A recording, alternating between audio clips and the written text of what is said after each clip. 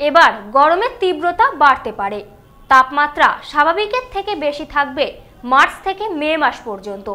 পূর্বাভাস দিল কেন্দ্রীয় আবহাওয়া দপ্তর। মার্চের শুরুতেই তীব্র রোদ। ঠান্ডার লেশমাত্র নেই। বঙ্গজুড়ে এবার গরমের তীব্রতা ক্রমেই বাড়বে বলে পূর্বাভাস কেন্দ্রীয় আবহাওয়া দপ্তরের। তবে কি ফের উষ্ণতম বসন্ত উপভোগ করতে চলেছে বঙ্গবাসী? এখন এই প্রশ্নই ঘুরপাক খাচ্ছে সকলের মনে। আসুন জেনে নেওয়া যাক, কি বলছে হাওয়া অফিস? ফেব্রুয়ারির শেষ এবং মার্চের শুরুতেই যেন বঙ্গ থেকে একেবারে বিদায় ঘটেছে শীতের। এবছর শুরু থেকে সেভাবে শীত জাকিয়ে না পড়লেও পৌষ মাস থেকে একেবারে কনকনে শীত অনুভূত হয়েছিল বঙ্গে। তবে ফেব্রুয়ারি মাসের শেষ থেকে মার্চ মাস পড়তে না পড়তেই বঙ্গজুড়ে অনুভূত হচ্ছে গরম। এবছর পঁচিশে মার্চ দোল খেলা। প্রকৃতির নিয়ম অনুযায়ী দোল খেলা অবধি বঙ্গজুড়ে থাকে হালকা শীতের আমেজ। কিন্তু এবছর দোল উৎসব আসার অনেক আগে থেকেই বঙ্গ থেকে উধাও হয়ে গিয়েছে শীত। বেলা বাড়তেই, রোদ উঠতেই গরম অনুভূত হচ্ছে বঙ্গ জুড়ে আবার এসবের মাঝেই মাঝে মাঝে হাজির হচ্ছে বৃষ্টি। সব মিলিয়ে আবহাওয়ার খামখেয়ালিপনায় জেরবার মানুষ। আবহাওয়া দপ্তরের আপডেট অনুযায়ী আজ দক্ষিণবঙ্গের কোনো জেলায় বৃষ্টির পূর্বাভাস নেই। মোটামুটি শুষ্কই থাকবে আবহাওয়া।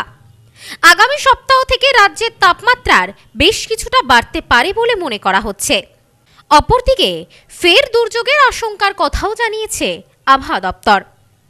আবহাওয়া দপ্তরের পূর্বাভাস অনুযায়ী বঙ্গে আপাতত বাড়বে তাপমাত্রা।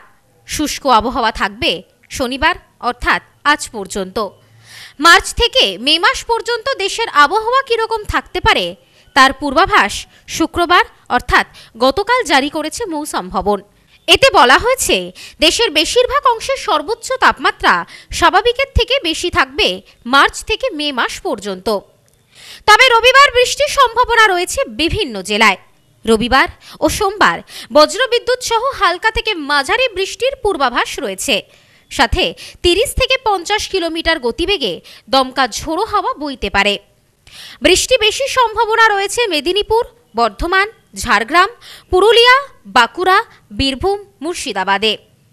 তবে আগামী সপ্তাহ জুড়ে উত্তরবঙ্গ এবং দক্ষিণবঙ্গ দুই বঙ্গেই বজ্রবিদ্যুৎ সহ বৃষ্টিপাতের সম্ভাবনা রয়েছে।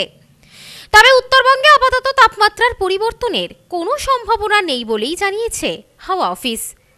উত্তরবঙ্গের তাপমাত্রা পরিবর্তন না হলেও দক্ষিণবঙ্গে কিন্তু ইতিমধ্যেই বেশ অনুভূত হচ্ছে গরম। কিন্তু কেন দক্ষিণবঙ্গে এত তাড়াতাড়ি অনুভূত হচ্ছে গরম? এই বিষয়ে কি জানালেন আবহাওয়াবিদরা? আসুন জেনে নেওয়া যাক। আলিপুর আবহাওয়া দপ্তরের অধিকর্তা গণেশ দাস জানান, এখন বিশ্বজুড়ে জলবায়ুর পরিবর্তন হচ্ছে। এর জন্য সাধারণভাবেই তাপমাত্রা বৃদ্ধির প্রবণতা রয়েছে।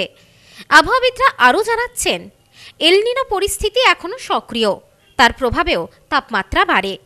জুন মাস নাগাদ এলনিনোর বিদায়ের প্রক্রিয়া শুরু হবে। কিছুটা সময় নিউট্রাল থাকার পর শুরু হবে লানিনার পর্ব।